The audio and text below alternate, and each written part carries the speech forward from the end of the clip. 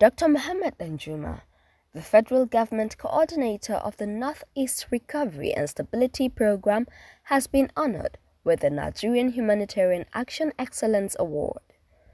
Danjuma received the World Humanitarian Day Honor Award in the category of Development Excellence for his instrumental role in the Northeast Recovery and Sustainability Program in Abuja.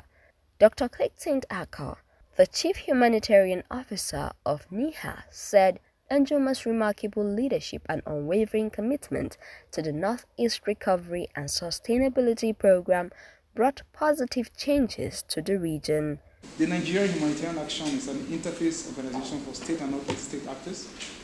We are set up to facilitate, harmonize humanitarian action for Nigeria um, the World Humanitarian Day is one of our flagship events every, every year. The World Humanitarian Day is designated by the United Nations to honor humanitarian actors globally. The history of the day is underpinned on the death of uh, over 20, 20, 27 UN workers in Baghdad several years ago. And since then, the General Assembly of the United Nations has adopted that day to be used to honor those that lost their life and of course every other humanitarian actors that is doing one thing or the other.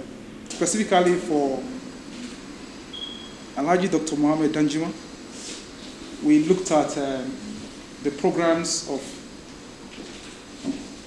his organization and felt that a lot has been done unannounced. We are shocked to have seen that most of these um, milestone programs that were carried out were not carried out, were not covered by conventional media. So he was duly nominated and his nomination was endorsed by the, the board. For each of them that are recipients of this award, they've joined the Global League of Humanitarian Actors that are making impact, going extra miles to create a better world for all of us.